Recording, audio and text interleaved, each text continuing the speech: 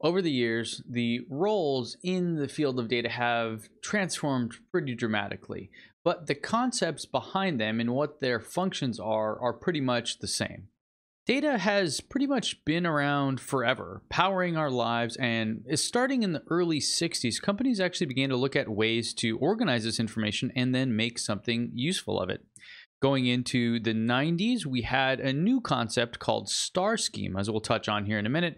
And then in 2000, with the boom of the internet, is when we were introduced to this concept of big data.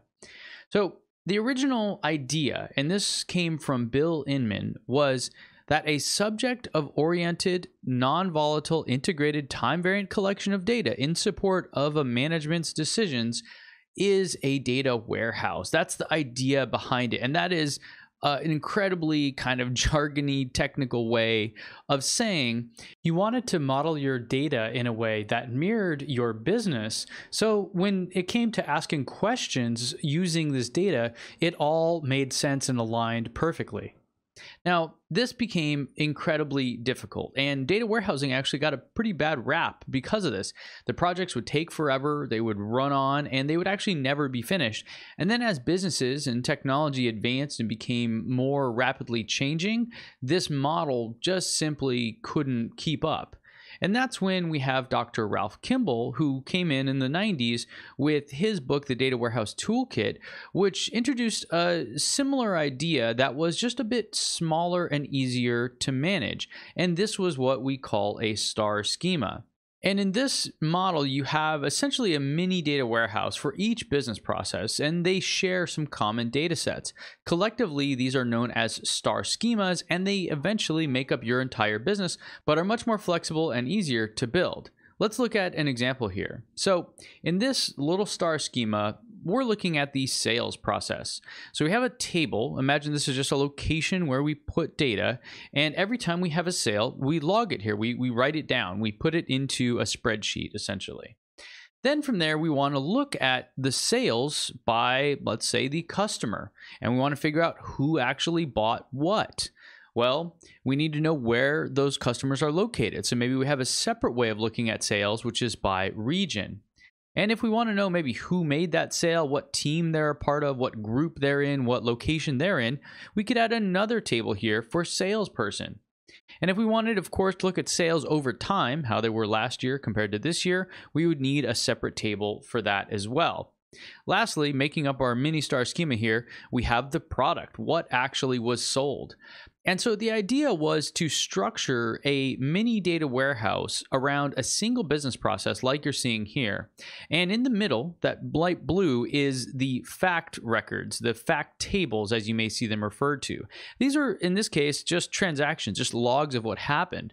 And then pointers to all the other relevant dimensions. That's what you're seeing in kind of the light purple here.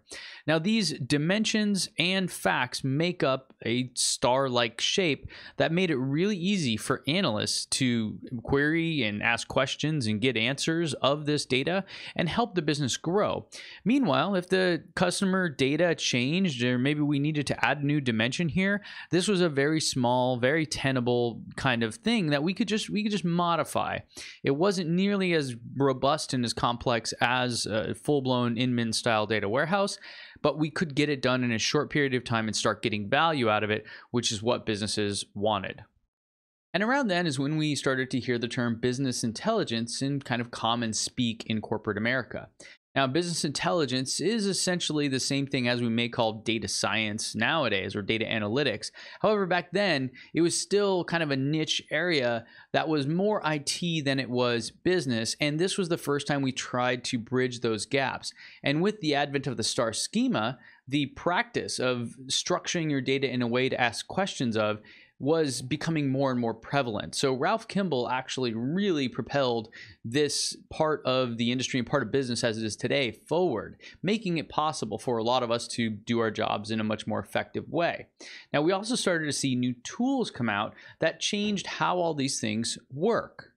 Statisticians started running algorithms on large data sets to predict future outcomes. Analysts were typically confined to Excel. We're now writing SQL code against databases and creating visual ways for folks to interact. And engineers were helping set up and manage all of these things so that the analysts and statisticians, or now we may call them data scientists, were able to be more effective.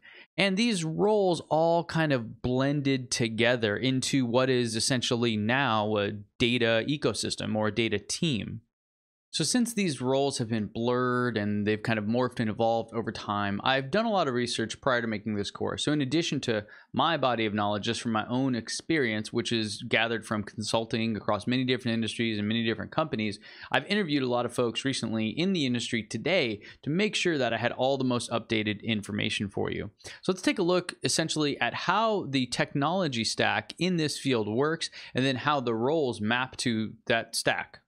At the base layer, you have the data platform, and I'm generalizing here as the place where everyone in the data org goes to get data for their work. We'll dig into this more later, but for now, just imagine it's like a grocery store filled with all the stuff you could want for whatever occasion. From there, we have our analysis layer. This is where taking our fresh data from the platform, applying some business logic, and adding relevant context, we're able to deliver some really good prepared meals for our users to consume. Following with the grocery store analogy, this is our backyard barbecue with some hamburgers and hot dogs or tofu dogs if you're into that kind of thing, you know, and some nice beverages. A very simple but still very fulfilling meal. But what if our users have a more refined palate? Well, then we need to introduce some more advanced ways of analyzing the data, such as statistical modeling and forecasting. Here is where you get your data science layer, and this is the smaller, the less generally used, but also critically important processes and ways of turning this data into something valuable. So let's see now how the roles in the data field map to this technology layer here. The foundation of the data org is built by the data engineering team. In this role, you would be interfacing with the teams that manage where data is created. So, your software development teams, your app dev teams, or even your systems teams that manage systems that are provided by third party vendors, as well as some analyst groups and your data science team, because they are essentially your customers. You'll be responsible for handling all the data coming into your platform, ensuring its quality, its accuracy, its completeness, and then making it easy for all of the analysts and scientists to consume that data and use it. From there, data analysts take this data, they apply business logic and add some relevant context to help teams understand what's going on, and they present it and provide it to those frontline teams in a way that makes their workflows more efficient or helps them find new opportunities or ways to grow. I've seen this work best when the data presented lives directly in line with the tools they're using. For example, if you're supporting the sales team and you want to integrate some data into their workflow, you're likely going to want to put that data directly into their customer relationship management or CRM tool. This way, they don't have to step outside of their normal workflow. Their job, again, is to make sales they don't have to leave that process to then use your analysis and benefit from it. It really needs to be integrated directly into whatever tools and whatever platforms they use to do their work. Now, data analysis is probably the easiest role to get started in, and the tools for it are becoming very accessible. If you know basic Excel skills, you can really quickly transition to a lot of the really powerful tools that data analysts use on a regular basis. This leaves our data scientists, who are the ones preparing the forecasts, the predictions, and generally the more specific answers to complex questions. I like to think of data scientists as the special forces on the team.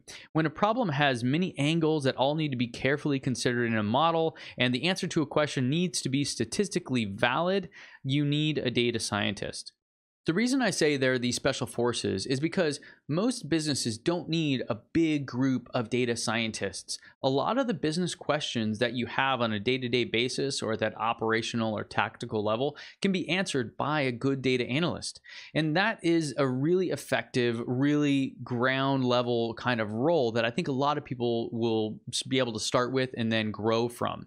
The data scientists are the ones handling the bet the company decisions, the ones that really take a long time to study because the answer needs to be super specific and accurate. And to be clear, I'm describing what I've witnessed in my career with all the companies I've consulted at and worked at. Now, some other companies will have a totally different mix of these roles. A really advanced company like Netflix will say, will probably have a lot of data scientists working on things like complex algorithms integrating into their actual product feed. Whereas a typical retail company or someone like that won't necessarily need that many people doing things at that high level, at that level of precision. And more likely, what they'll need are people on the analyst side answering questions much quicker and with just kind of a much more simple look at things that will help guide their business. So, both roles are incredibly valuable. And depending on the type of industry that you're in or how the company works, you will have a varying mix of all of these different roles within your data team.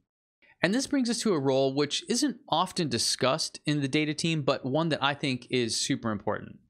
And this is the data product manager. Now, when I say product manager, what I'm talking about are data products. And you can think of a data product as anything from a written report from an analyst or a data scientist with a specific question that they were answering to a tool that supports a team and is making them more self sufficient. Anything in between is what I would call a data product. Now, the data product manager is someone that really kind of binds all this together and is sort of the glue of the group. They bring together the right people at the right time to make the product successful. And of course, a background in data would be very helpful because then they would have this domain expertise. And when working with end users and trying to translate that into something to for a data engineer, let's say, they would be really benefiting by any kind of prior knowledge or experience in that area. And as a last bit, I just wanted to mention that you'll hear different terms for these roles. Now, the terms I'm using are the ones that are kind of the most modern right now, but they will probably change down the road. However, the functions and the concepts behind them are pretty consistent. And those things have been around, as I mentioned earlier, for a long time. So let's keep going down our journey here and dig into each one of these roles a bit more in depth to understand exactly what they do. I hope that lesson was helpful to you. If you want to learn more and continue this journey, head over to freethedataacademy.com slash YT to see our entire catalog and sign up for a seven-day free trial so you can start learning today to elevate your career tomorrow.